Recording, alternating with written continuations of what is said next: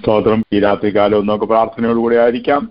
കഴിഞ്ഞ ദിവസങ്ങളിൽ ഏഴിന്റെ പ്രാധാന്യമാണല്ലോ ദാസൻ നമ്മളോട് സംസാരിച്ചുകൊണ്ടിരിക്കുന്നത്. കഴിഞ്ഞ രാത്രികാലം ഏഴ് ഉത്സവങ്ങളെ കുറിച്ച് ദാസന് ഇൻട്രൊഡക്ഷൻ ആയിട്ട് തുടങ്ങുകയുണ്ടായല്ലോ. ആ ഏഴ് പഴയ നിയമ ഉത്സവങ്ങൾ പഴയ നിയമ ഉത്സവങ്ങൾ നല്ല ഹോവയുടെ ഉത്സവങ്ങൾ ആ ഏഴേവിയ പുസ്തകം ഇരുപത്തി മൂന്നിലാണല്ലോ നമ്മളത് കാണുന്നത്. ആ ഏഴ് ഉത്സവങ്ങളെ കുറിച്ച് താൻ വരും ദിവസങ്ങളിൽ നമ്മളോട് ഷെയർ ചെയ്യും. നമ്മൾ പഠിക്കുമ്പോൾ അതിൽ നാലെണ്ണം കർത്താവിന്റെ ഒന്നാമത്തെ വരവിനോട് അനുബന്ധിച്ച് നിവൃത്തിയാകുന്നതായിട്ട് നമുക്ക് കാണാം. മൂന്നെണ്ണം കർത്താവിന്റെ രണ്ടാമത്തെ വരവിനോട് വരവിനോടനുബന്ധിച്ച് നിവൃത്തിയാകപ്പെടേണ്ട ഉത്സവങ്ങളാണല്ലോ. വളരെ മനോഹരമായ ഒരു വിഷയമാണ്. ദാസന ദൈവം ബലപ്പെടുത്തട്ടെ. ആമേൻ. കർത്താവിൻ ഞങ്ങളോട് സംസാരിക്കണമേ എന്നുള്ള പ്രാർത്ഥനയോടുകൂടെ നമുക്ക് ഏവർക്കുമായിരിക്കാം. കർത്താവിന്റെ വരെയും സഹായിക്കട്ടെ. സ്തോത്രം. ആമേൻ കർത്താവിന്റെ അതിപരിശുദ്ധമായ നാമം വാഴ്ത്തപ്പെടുമാറാകട്ടെ. കൂടി വന്ന എല്ലാ ദൈവമക്കൾക്കും അതിന്റെ ലീഡർഷിപ്പ് നൽകുന്ന കർത്താവിന്റെ ദാസനും ഇതിനെ കേൾക്കുന്ന ഏവർക്കും യേശു കർത്താവിന്റെ ധന്യമുടെ നാമത്തിൽ സ്നേഹവന്ദനത്തെ അറിയിക്കുന്നു. ദൈവമായ കർത്താവ് നിങ്ങളെ എല്ലാവരെയും ധാരാളം അനുഗ്രഹിക്കുകയും സഹായിക്കുകയും ചെയ്യുമാറാകട്ടെ. ഞാൻ പ്രാർത്ഥിക്കുന്നു. എനിക്കൊരു സന്തോഷമുള്ള ഒരു വാർത്തയുണ്ടായി. ഈ ഇടയായിട്ട് ദിലീപ് ആറന്മുള എന്ന് പറഞ്ഞ് ഒരാൾ എന്റെ വീഡിയോ കാണുന്നുണ്ട്. കണ്ടേച്ച് you guys are fraud Yesu fraud അങ്ങനെയാണ് ഇങ്ങനെയാണ്. ഫ്രോഡ് ഫ്രോഡ് എന്ന് പറഞ്ഞൊക്കെയാണ് പുള്ളി എഴുതുന്നത്. അപ്പൊ അതിന്റെ അർത്ഥം ഇവൻ എന്ത് ചെയ്യുന്നുണ്ട്? ഈ കാണുന്നുണ്ട് കേൾക്കുന്നുണ്ട്. കേൾക്കട്ടെ. ഒരുപാട് പേര് ചീത്ത വിളിക്കുന്നുണ്ടെങ്കിൽ കേൾക്കുന്നുണ്ട്. കേൾക്കാതെ ചീത്ത വിളിക്കാൻ പറ്റത്തില്ലല്ലോ അതിനായിട്ടും എനിക്ക് സന്തോഷം തോന്നി. കാരണം അവനെ അതിനായിട്ട് നിയോഗിച്ചിരിക്കുകയാണ് സ്വോത്രം പ്രേമകളെ യഹോബയുടെ ഉത്സവങ്ങൾ നമുക്ക് അതിന്റെ ഒന്ന് മുതൽ മൂന്ന് വരെയുള്ള വാക്യങ്ങൾ ഒന്ന് വായിക്കാം. ദേവിയ പുസ്തകം ഇരുപത്തിമൂന്നിന് ഒന്ന് മുതൽ മൂന്ന് വരെയുള്ള വാക്യങ്ങൾ. യഹോവ പിന്നെയും മോശയോട് അരളി ചെയ്തത് നീ ഇസ്രായേൽ മക്കളോട് പറയേണ്ടത് എന്റെ ഉത്സവങ്ങൾ വിശുദ്ധ സഭായോഗം വിളിച്ചു കൂട്ടേണ്ടുന്ന യഹോവയുടെ ഉത്സവങ്ങളാവിത്. ആറ് ദിവസം വേല ചെയ്യാനും ഏഴാം ദിവസം വിശുദ്ധ സഭായോഗം കൂടേണ്ടുന്ന സ്വസ്ഥതയ്ക്കുള്ള ശബത്ത്. അന്നൊരു വേലയും ചെയ്യരുത്. നിങ്ങളുടെ സകല വാസസ്ഥലങ്ങളിലും അത് ഹോവയുടെ ശബത്ത് ആകുന്നു. ഞാൻ ഇന്ന് ബോസ്റ്റൺ എയർലൈനിൽ അല്പസമയം ശുശ്രൂഷിക്കുന്നുണ്ടായിരുന്നു. നേരം ഞാൻ അവിടെ പറയാനിടയാണ് ഇപ്പം എല്ലാ വർഷവും അവിടെ കോൺഫറൻസ് നടത്താറുണ്ട്. ഞാൻ മൂന്നാൽ കോൺഫറൻസിന് പോയിട്ടുണ്ട്.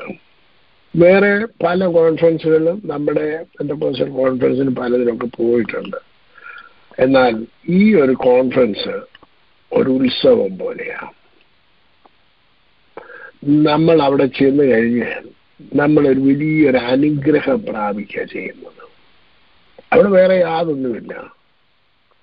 രാവിലെ മുതൽ വൈകുന്നേരം വരെ മീറ്റിംഗ് മാത്രമേ ഉള്ളൂ. അതിനിടയ്ക്ക് ബ്രേക്ക് ഫുഡ് കഴിക്കാനുള്ള ബ്രേക്ക് ഇതോ അതും ഇതൊക്കെ ഉണ്ട്. പക്ഷെ എന്നുണ്ടെങ്കിൽ ഭയങ്കര നമ്മുടെ ഹൃദയത്തിൽ അത് സന്തോഷിക്കും. ജോയ് ഓഫ് ദ ലോഡ് നമ്മളിൽ ഉണ്ടാകും ഞാൻ അവരോട് പറയാറുണ്ട് ഇത് ഒരു ഉത്സവം കഴിഞ്ഞിട്ട് പോകുന്ന പോലെയാണ് അവിടുന്ന് പോകുന്നത്. എന്തിനാണ് ഈ ഉത്സവങ്ങൾ കർത്താവ് വെച്ചേക്കുന്നത്? നമ്മുടെ ഹൃദയം സന്തോഷിക്കണം. നമുക്ക് സമാധാനം നമ്മളിലേക്ക് വരണം. ഇവിടെ പറഞ്ഞിരിക്കുന്നത് വിശുദ്ധ സഭായോഗം കൂടേണ്ടതിന് ഹോവയുടെ ഉത്സവങ്ങളാവിത്. ആറ് ദിവസം വേല ചെയ്യണം എന്ന് പറഞ്ഞു കഴിഞ്ഞാൽ ഭയങ്കര ടെൻഷനാണ്. ആറ് ദിവസം കഷ്ടപ്പെട്ട് ജോലി ചെയ്തു ജോലിയുടെ ടെൻഷൻ പിരിമുറുക്കം അതിന്റെ പിരിമുറുക്കം ഇതെല്ലാം കഴിഞ്ഞതിന് ശേഷം ജോലി എന്നുള്ള പിരിമുറുക്കം വീട്ടിൽ നിന്നുള്ള പിരിമുറുക്കം പലതിന്റെ കഷ്ടപ്പാടിന്റെ പിരിമുറുക്കം ഇങ്ങനെ ഇതെല്ലാം കഴിഞ്ഞതിന് ശേഷം ഒരു ദിവസം നിങ്ങൾ എന്ത് ചെയ്യണം? വിശുദ്ധ സഭായോഗം കൂടണം ഏഴാം ദിവസം. സ്വസ്ഥതയ്ക്കുള്ള ശബത്ത്. എന്തിനു വേണ്ടിയുള്ളതാണ്?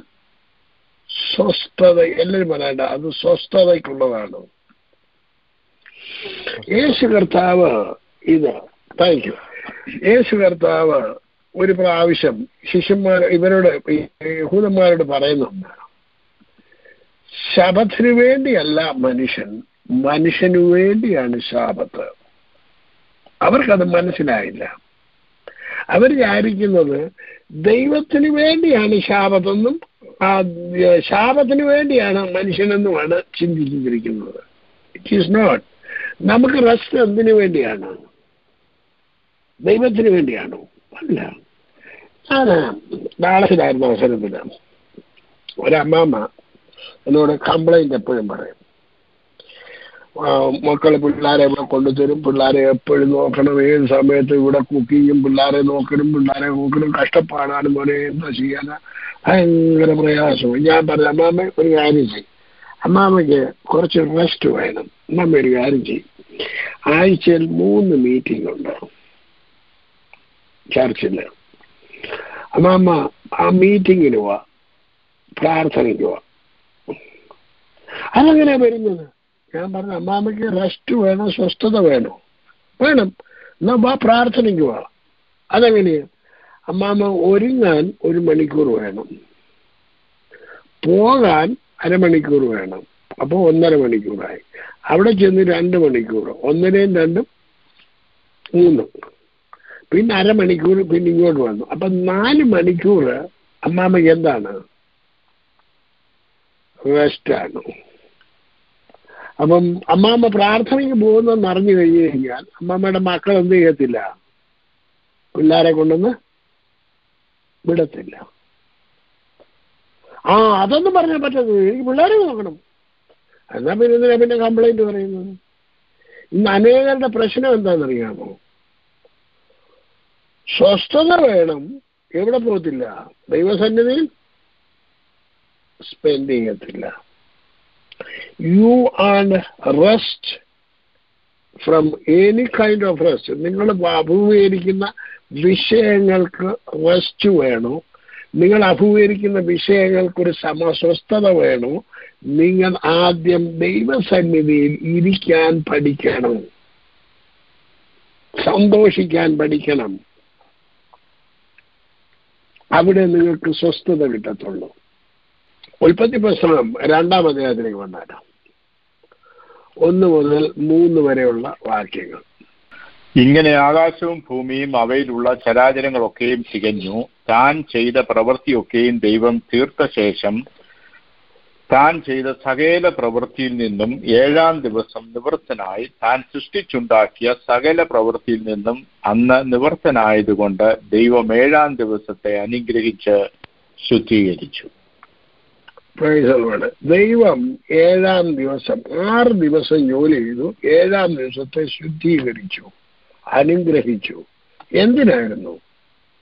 ദൈവത്തിന് ഭയങ്കര ക്ഷീണം തോന്നിയിട്ടാണോ? അത് ദൈവം അതിനുശേഷം വർക്ക് ചെയ്തിട്ടില്ലയോ? ദൈവം എന്നും വർക്ക് ചെയ്യുന്നുള്ളതാണ് ട്വന്റി ഫോർ സെവൻ വർക്ക് ഒരിക്കലും നമ്മൾ ഇരുപത്തിനാല് മണിക്കൂറും കർത്താവിന് എന്താണ്? എപ്പോഴും. അവന് പകലില്ല രാവില്ല ഒന്നുമില്ല. മക്കളെ ആ ദൈവം റെസ്റ്റ് ചെയ്തു എന്ന് പറഞ്ഞാൽ ആർക്ക് വേണ്ടിയായിരുന്നു? നമുക്ക് വേണ്ടിയാണ്. റെസ്റ്റ് ഏഴ് ദിവസം? ഇതായിരുന്നു കർത്താവ് അന്ന് ഉണ്ടാക്കി വെച്ച സിസ്റ്റം. ആ ഒരു സിസ്റ്റം നമ്മുടെ ഈ ഇവിടെ വന്ന മലയാളികൾ പലരും എന്തോ തുടങ്ങിയെന്നറിയാം പലചരക്ക് കട തുടങ്ങി. Indian store. ഈ ഇന്ത്യൻ സ്റ്റോർ തുടങ്ങി. ഞാനും ഇന്ത്യൻ സ്റ്റോർ തുടങ്ങി. അപ്പം ഞാനാ തുടങ്ങിയത് ഇവ ഇവ അവരെല്ലാം കൂടെ എന്നെ പിടിച്ചതിനകത്ത് കയറ്റിയതാ. അല്ലാതെ തുടങ്ങേണ്ടിട്ട് തുടങ്ങിയതല്ല. പെട്ടുപോയി. ഒടുവിൽ എന്തായിരുന്നു പ്രശ്നം? ആരാധനയ്ക്ക് പോകാൻ പറ്റത്തില്ല. അങ്ങനെ ഞങ്ങൾ തമ്മിൽ അങ്ങ് ഞാൻ ഞാനത് കളഞ്ഞിട്ട് പോന്നു. എനിക്ക് വലിയ നഷ്ടങ്ങളും വലിയ പ്രശ്നങ്ങളും ഒക്കെ ഉണ്ടായി. അത് പിന്നെ വേറൊരു വിഷയം. അപ്പം നമ്മുടെ മലയാളി കൺസെപ്റ്റ് അനുസരിച്ചിട്ട് ഏഴ് ദിവസവും അവിടെ കിടന്ന് ഊസ്റ്റ് പിടിക്കുക. ഇവിടെ ഒക്കളവുമായി വന്നപ്പോഴും ഒരു മലയാളി ഒരു ഒരാളുണ്ടായിരുന്നു. ആ പുള്ളി പള്ളിയിലെ എന്താണ് ശുശ്രൂഷകന് ഈ പുള്ളി ഏഴ് ദിവസവും കട തുറന്നിരിക്കുക അപ്പൊ ഞാൻ പറഞ്ഞു ഒരു ദിവസം നീ ഓഫ് ചെയ്യുക വേറെ അയ്യോ അന്നത്തെ ദിവസം പിന്നെ വേറെ എങ്ങാണ്ടെന്ന് വരുന്നവരൊക്കെ വേറെ കടയിൽ പോകും. അത് കാരണം ഞാൻ തുറന്നിരിക്കുക അപ്പൊ റെസ്റ്റ് ഇല്ലാതെ പണി ചെയ്യുക. ഇത് വലിയ പ്രശ്നമാണ്. നമ്മൾ റെസ്റ്റ് നിങ്ങൾക്ക് കിട്ടുന്നത് ചുമ്മാ ഇരുന്ന റെസ്റ്റ് കിട്ടത്തില്ല. ഒരൊറ്റ സ്ഥലത്തുനിന്ന് നിങ്ങൾക്ക് സ്വസ്ഥത കിട്ടത്തുള്ളൂ ദൈവസന്നിധി. വേറെ എങ്ങൂന്നും കിട്ടത്തില്ല. ദൈവസന്നിധിയിൽ സ്പെൻഡ് ചെയ്യാൻ പഠിക്കണം.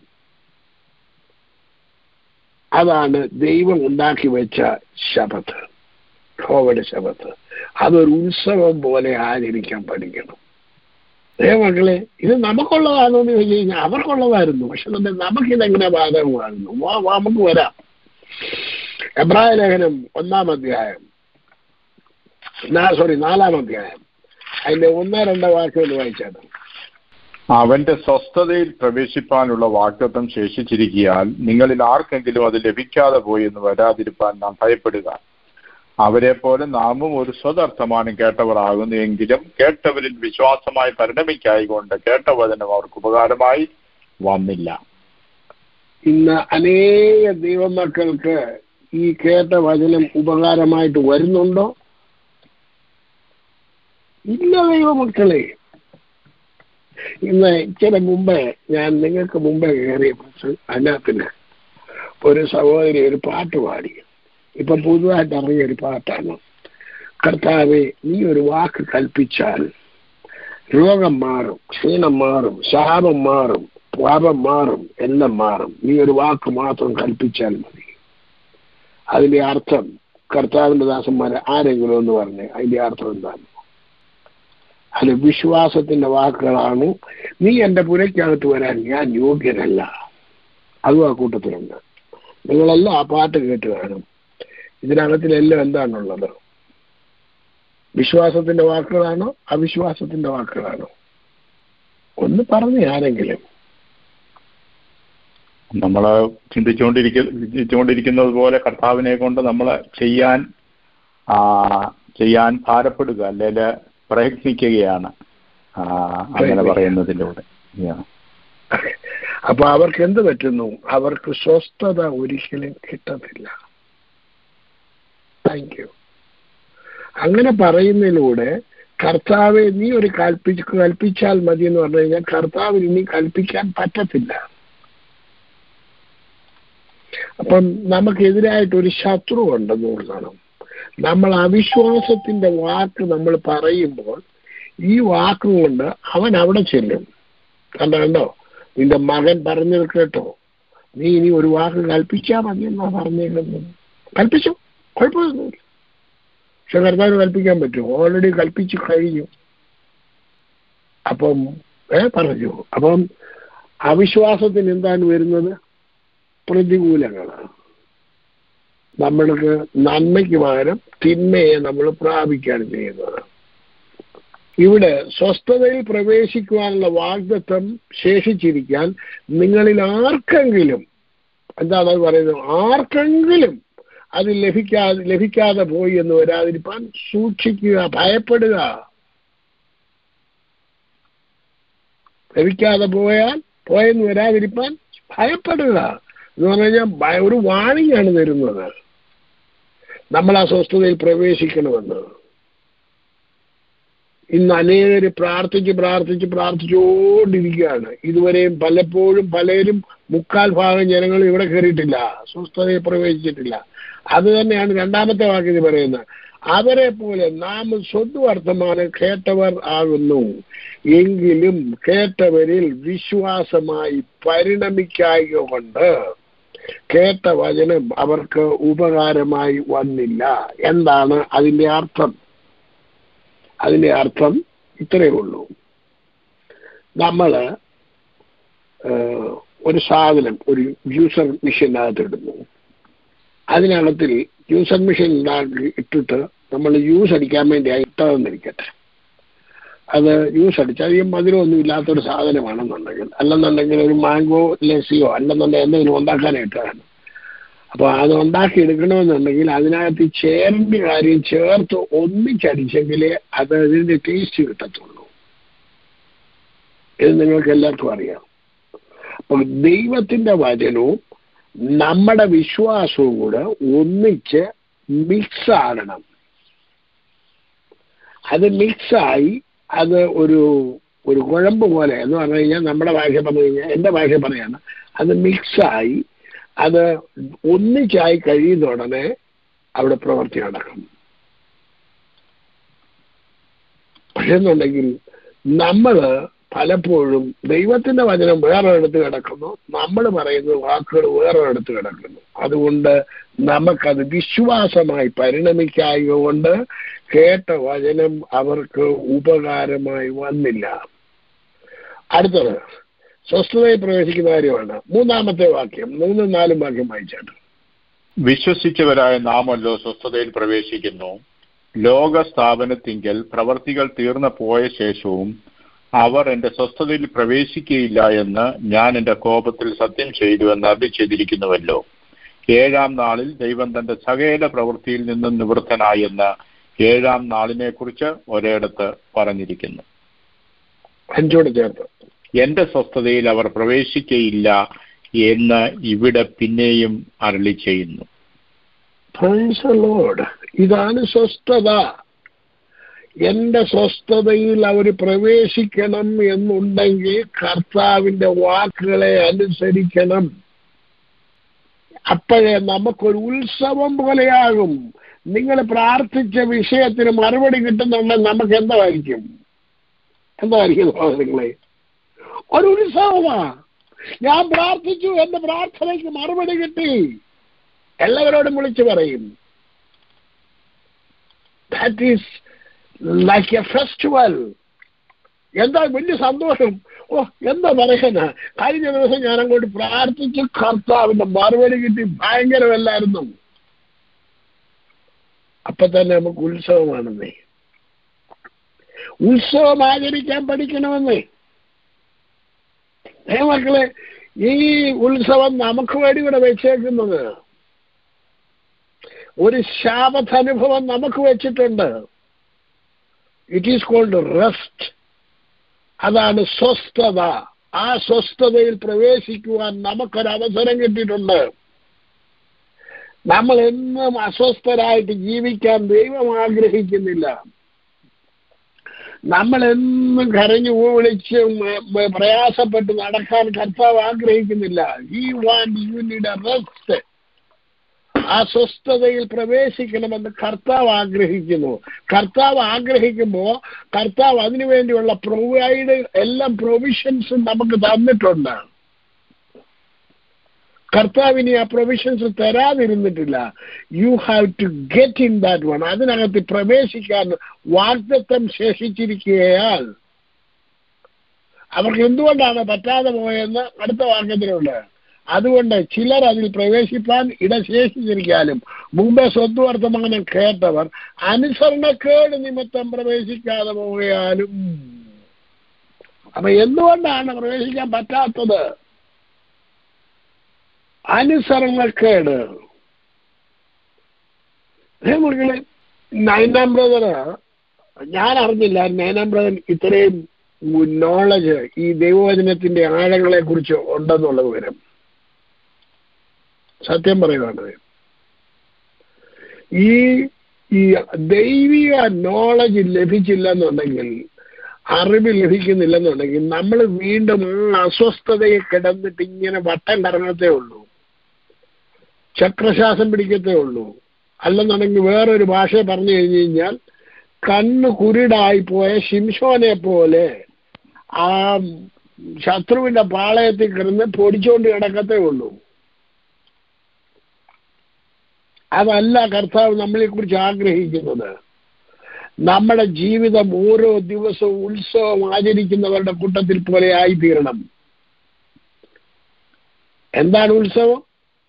നമുക്ക് കർത്താവ് തരുന്ന നന്മകളെ കണ്ടിട്ട് നമ്മൾ ഉത്സവം ആചരിക്കുന്നവരുടെ കൂട്ടത്തിലായിരിക്കണം. കാരണം സന്തോഷമാണ്. അത് സ്വസ്ഥത എന്ന് പറയുന്നത് നമ്മൾ നമ്മൾ സന്തോഷം എന്ന് പറഞ്ഞു കഴിഞ്ഞാൽ നമ്മളൊരു ഒരു ജോക്ക് കേട്ടു അല്ലെന്നുണ്ടെങ്കിൽ ഒരു തമാശ അല്ല ഇത് എന്താണ് ഏതെങ്കിലും നമുക്ക് മനസ്സിന് ഇഷ്ടപ്പെട്ട എന്തെങ്കിലും ഒന്ന് കേട്ടു അല്ല കണ്ടു അപ്പോൾ ഉണ്ടാകുന്ന സന്തോഷം അത് ലോകത്തിന്റെ സന്തോഷമാണ്. എന്നാൽ കർത്താവിന്റെ ജോയ് എന്ന് പറയുന്നത് ഇറ്റ് ഈസ് ഇൻസൈഡ് അത് ഉള്ളിലുണ്ടാകുന്നതാണ്. അത് ഉള്ളിലുണ്ടാകുന്നത് നമുക്കൊരു കർത്താവ് നമുക്ക് ചെയ്യുമ്പോഴാണ് ഉള്ളിൽ നിന്ന് ആ ജോയ് പുറപ്പെട്ടു വരുന്നത്. അത് പുറത്തു വരണം. അത് നമുക്ക് ലഭിക്കും. അതിനുവേണ്ടി നമുക്ക് ശേഷിച്ചിരിപ്പുണ്ട് അതിന്റെ ആറ് ഏഴ് എട്ട് വാക്യം വായിച്ചാണ് കർത്താവിന്റെ അതുകൊണ്ട് ചിലർ അതിൽ പ്രവേശിപ്പാൻ ഇട ശേഷിച്ചിരിക്കയാലും മുൻപേ സ്വതർത്ഥമാനം കേട്ടവർ അനുസരണക്കേട് നിമിത്തം പ്രവേശിക്കാതെ പോകയാലും ഇത്ര കാലത്തിന്റെ ശേഷം ദാവീദ് മുഖാന്തരം ഇന്ന് അവന്റെ ശബ്ദം കേൾക്കുന്നുവെങ്കിൽ നിങ്ങളുടെ ഹൃദയം കഠിനമാക്കരുത് എന്ന് മുൻപേ പറഞ്ഞതുപോലെ ഇന്ന് എന്നൊരു ദിവസം പിന്നെയും നിശ്ചയിച്ചിരുന്നു. യോശുവ അവർക്ക് സ്വസ്ഥത വരുത്തിയെങ്കിൽ മറ്റൊരു ദിവസത്തെക്കുറിച്ച് പിന്നത്തേതിൽ കൽപ്പിക്കയില്ലായിരുന്നു. ആകയാൽ ദൈവത്തിന്റെ ജനത്തിനൊരു ശബത്തനുഭവം ശേഷിച്ചിരിക്കുന്നു. എല്ലാവർക്കും സന്തോഷിക്കുവാൻ ദൈവത്തിന്റെ ജനത്തിന് ഒരു ശബത്തനുഭവം ശേഷിച്ചിരിക്കുന്നു. എന്താണ് ആ ശബത്തനുഭവം ശാപത്ത് ആചരിക്കണമെന്ന് പറഞ്ഞാൽ ചിലർ നടക്കുന്നത്. ദൈവമക്കളെ ആ ശബത്ത് അനുഭവം എന്ന് പറയുന്നത് a rest it is like എന്താണ് സമാധാനം പിന്നെ ഉണ്ടാകുന്നതാണ്. അത് കിട്ടുന്നത് ദൈവത്തിൽ നിന്നുമാണ്. അത് നമുക്ക് ഈ ലോകത്തിലുള്ള നമ്മുടെ സകല ഭാരങ്ങളും അതിനാണ് പറയുന്നത് സകല ഭാരവും നിന്റെ സകല ഭാവവും കളഞ്ഞിട്ട് നമ്മുടെ ഓട്ടം മുന്നോട്ട് ഓടാനായിട്ട് നമ്മൾ പഠിക്കണം. മുറുകെ പറ്റുന്ന പാപവും സകല ഭാരവും കളഞ്ഞിട്ട്. ദൈവമക്കളെ കർത്താവ് പറഞ്ഞിരിക്കുന്നത് ഞാൻ എന്റെ മുഖം മൃദുവും എന്റെ ചുവട് ലഘുവുമാകുന്നു. എന്റെ മുഖം എടുത്തുകൊണ്ട് എന്നോട് പഠിപ്പിൻ. എന്നാൽ നിങ്ങളുടെ ആത്മാക്കൾക്ക് ആശ്വാസം കണ്ടെത്തും. നമുക്കൊരാശ്വാസം കണ്ടെത്തണം. കർത്താവിൽ നിന്ന് പഠിക്കാൻ പഠിക്കും. കർത്താവ് പറഞ്ഞത് നമ്മൾ ഡേ ആൻഡ് നൈറ്റ് മെഡിറ്റേറ്റഡ് നമുക്ക് സ്വസ്ഥത കിട്ടുന്ന അപ്പോഴാണ്. ആ ശബത്ത് അനുഭവം നമുക്ക് വേണ്ടി വെച്ചിരിക്കുകയാണ്. ഇന്ന് അനേകർ ആ ഉത്സവം ആചരിക്കുവാൻ ആ ഉത്സവം നമുക്ക് കിട്ടുന്നില്ല. കിട്ടുന്നുണ്ടോ? ഏ മക്കളെ എന്നെ ദൈവം വിടുവിച്ച കാലം മുതൽ ഞാൻ ആ ഉത്സവത്തിലാണ് ഈ കർത്താവിന്റെ എല്ലാം അറിയാം. എന്താ കാര്യം എന്നറിയാമോ? ഞാൻ ഈ പഴയ രീതികളെല്ലാം വിട്ടു ദൈവരാജ്യത്തിന്റെ പ്രിൻസിപ്പിൾ അനുസരിച്ചിട്ട് ജീവിക്കാൻ തുടങ്ങി. ദൈവവചനത്തിന്റെ കർത്താവ് പറഞ്ഞ രീതി ചിന്തിക്കാൻ തുടങ്ങിയപ്പോ നമുക്കത് വരാനായിട്ട് തുടങ്ങി. അതിന്റെ ഒൻപത് മുതൽ പതിനാറ് വരെയുള്ള വാക്യം കർത്താവദാസിന് പെട്ടെന്ന് വായിച്ചു. ആകയാൽ ദൈവത്തിന്റെ ജനത്തിനൊരു ശബത്ത് അനുഭവം ശേഷിച്ചിരിക്കുന്നു. ദൈവം തന്റെ പ്രവൃത്തിയിൽ നിന്ന് എന്ന പോലെ അവന്റെ സ്വസ്ഥതയിൽ പ്രവേശിച്ചവൻ താനും തന്റെ പ്രവൃത്തിയിൽ നിന്ന് നിവർത്തനായി തീർന്നു. അതുകൊണ്ട് ആരും അനുസരണക്കേടിന്റെ സമദൃഷ്ടാന്തത്തിന് ഒത്തവണ്ണം വീഴാതിരിക്കേണ്ടതിന് നാം ആ സ്വസ്ഥതയിൽ പ്രവേശിപ്പാൻ ഉത്സാഹിക്കാം. ദൈവത്തിന്റെ വചനം ജീവനും ചൈതന്യമുള്ളതായി. ഇരുവായ്ത്തലയുള്ള ഏത് വാളിനേക്കാളും മൂർച്ചയേറിയതും പ്രാണനെയും ആത്മാവിനെയും സന്ധിപഞ്ചകളെയും വേർ വെടിവിക്കും വരെ തുളച്ചു ചെല്ലുന്നതും ഹൃദയത്തിലെ ചിന്തനങ്ങളെയും ഭാവങ്ങളെയും വിവേചിക്കുന്നതുമാകുന്നു. അവന് മറഞ്ഞു കിടക്കുന്ന ഒരു സൃഷ്ടിയുമില്ല. സകലവും അവന്റെ കണ്ണിന് നഗ്നവും മലർന്നതുമായി കിടക്കുന്നു. അവനുമായിട്ടാവുന്നു നമുക്ക് കാര്യമുള്ളത്. ആകയാൽ ദൈവപുത്രനായി യേശു ആകാശത്തിൽ കൂടി കടന്നുപോയ ഒരു ശ്രേഷ്ഠ മഹാപുരോഹിതനായി നമുക്ക് ഉള്ളതുകൊണ്ട് നാം നമ്മുടെ സ്വീകാരം മുറുകെ പിടിച്ചുകൊള്ളുക. നമുക്കുള്ള മഹാപുരോഹിതൻ നമ്മുടെ ബലഹീനതകളിൽ സഹതാപം കാണിപ്പാൻ കഴിയാത്തവനല്ല. പാപമൊഴികെ സർവത്തിലും നമുക്ക് തുല്യമായി പരീക്ഷിക്കപ്പെട്ടവൻ അത്രേ നമുക്കുള്ളത്. അതുകൊണ്ട് കരുണ ലഭിപ്പാനും തത്സമയത്ത് സഹായത്തിനുള്ള കൃപ പ്രാപിപ്പാനുമായി നാം ധൈര്യത്തോടെ കൃപാസനത്തിന് അടുത്ത് ചെല്ലുക. പ്രേസലോട് ഇതിനകത്തിൽ ഒത്തിരി കാര്യങ്ങൾ പറയാറുണ്ട്. ഞാനിവിടെ അവസാനിപ്പിക്കാൻ പോവാണ്. അതിന്റെ പത്താമത്തെ വാക്യം നിങ്ങൾ അണ്ടർലൈൻ ചെയ്ത് വെക്കുക. ദൈവം തന്റെ പ്രവർത്തികളിൽ നിന്ന് എന്ന പോലെ അവന്റെ സ്വസ്ഥതയിൽ പ്രവേശിച്ചവൻ താനും തന്റെ പ്രവർത്തികളിൽ നിന്ന് നിർവൃതനായി തീർന്നു. ഇനിയും കർത്താവ് രണ്ടാമത് പ്രവർത്തിക്കുന്നില്ല. അതാണ് അതിന്റെ അർത്ഥം. അതിനുശേഷം പറയാണ് അതുകൊണ്ട് അനുസരണക്കേടിന്റെ സമദൃഷ്ടാന്തത്തിന് ഉത്തരവണ്ണം. ആരുടെയാണ് അനുസരണക്കേട്? പഴയ നിയമ വിശുദ്ധന്മാര്. അനുസരണക്കേടിന്റെ സമദൃഷ്ടാന്തത്തിന് ഒത്തവണ്ണം വീഴാതിരിക്കേണ്ടതിന് നാം ആ സ്വസ്ഥതയിൽ പ്രവേശിപ്പാൻ ഉത്സാഹിക്കുക. എന്നിട്ട് ഇത് എഴുതിയ അപ്പോസ്തോലം പറയുകയാണ് എങ്ങനെയാണ് അതിനകത്ത് പ്രവേശിക്കേണ്ടതെന്നുള്ളത് പ്രവേശിക്കുന്നതിന്റെ രീതി ആണ് അവിടെ പറഞ്ഞിരിക്കുന്നത്. ദൈവത്തിന്റെ വചനം. ജീവനും ചൈതന്യവും ഉള്ള ഇരുവായ്ത്തരവുള്ള വാളിനേക്കാൾ മൂർച്ചയേറിയതും പ്രാണനെയും ആത്മാവിനെയും സത്യവചകളെയും വേർപിടിപ്പിക്കും വരെ തുളച്ചു ചെല്ലുന്നതായ ഹൃദയത്തിലെ ചിന്തനങ്ങളെയും ഭാവങ്ങളെയും വിവേചിക്കുന്നതുമാകുന്നു. അത് നിങ്ങളുടെ കയ്യിലിരിക്കുന്ന വചനത്തിന്റെ കാര്യമാണ് പറഞ്ഞിരിക്കുന്നത്. അത് എങ്ങനെയാണ് പ്രവർത്തിക്കുന്നത്? ഈ വചനമാണ് പ്രവർത്തിക്കുന്നത്. അവനുമായിട്ടാണ് നമുക്ക് എന്താ ഉള്ളത്? അവന് മറഞ്ഞിരിക്കുന്ന ഒരു സൃഷ്ടിയുമില്ല. അപ്പം ഈ വചനത്തിന്റെ മറന്നിരിക്കുന്ന ഒരു സൃഷ്ടിയുമില്ല. അവന്റെ കണ്ണിന് മഗ്നവും മലർന്നവുമായി കിടക്കുന്നു. അവനുമായിട്ടാണ് നമുക്ക് കൂട്ടായ്മ ഉള്ളത് ഈ തിരുവചനം നമ്മൾ കേൾക്കുന്നത് നമുക്ക് ഒത്തിരി രൂപാന്തരം ഉണ്ടാകുന്നത് ഈ വചനത്തിന് കാണാൻ സാധിക്കും. അതുകൊണ്ട് അത് ജീവനുള്ളതാണ്.